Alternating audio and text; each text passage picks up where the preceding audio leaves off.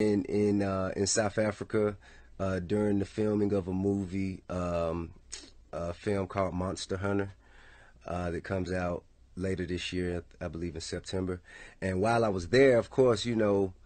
whenever I visit, we, we visit a country, especially when there's an extended period of time on our hands, we like to just kind of dive into the culture, you know, find out the music, the you know the nightlife, the hood,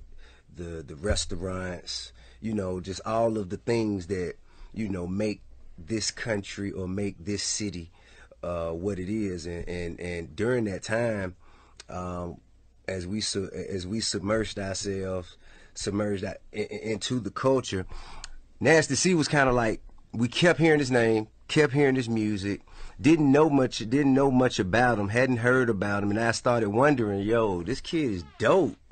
he reminds me of me a little bit. Why why haven't I heard of him? You know what I'm saying? And then like not knowing anything about the story, not knowing anything about uh like how, you know, he he began in in music. Uh, I just reached out to him, you know, and, and told him just, you know, I thought his shit was dope